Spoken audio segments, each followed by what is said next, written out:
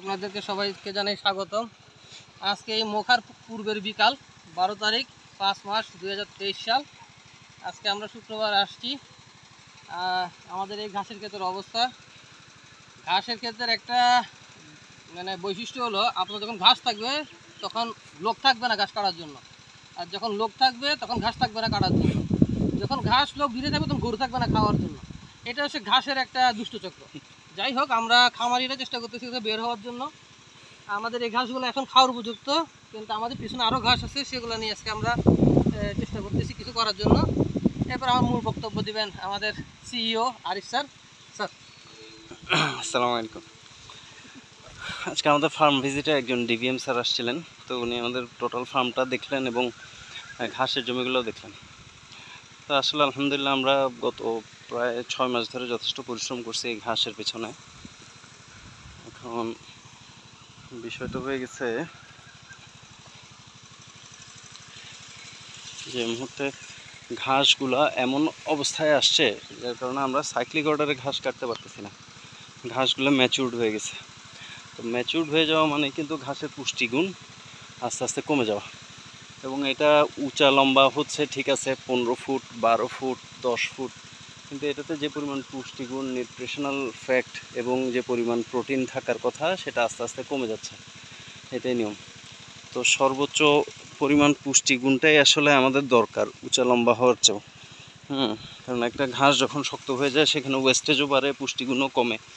তো সেগুলো আমাদের ফার্মের এফিসিয়েন্সিকে আস্তে আস্তে কমায় দেয়। আমরা আস্তে আস্তে শিখতেছি, বুঝতেছি আরও শিখব ইনশাল্লাহ এই যে, এই এই দিকের ঘাস যেগুলো, আপনাদেরকে এখন দেখাচ্ছি, এই ঘাসগুলো মোটামুটি আসলে আর সপ্তাহখানিক পরে কেটে ফেলতে পারলে আমাদের জন্য সর্বোত্তম হতো এই, এগুলা এখন একেবারে নরম আছে। খাওয়ার উপযুক্ত, উপর থেকে নিচ পর্যন্ত গরু অনায়াসে খেয়ে ফেলতে পারবে। আর পার্শ্ববর্তীগুলো দেখায় এগুলো গরু অনায়াসে খেয়ে ফেলতে পারবে যেহেতু আমরা চপিং করে দিই মেশিনে। কিন্তু দিলেও এগুলো লম্বা হয়েছে ঠিক কিন্তু এগুলোতে পুষ্টিগুণ হ্রাস পেয়েছে।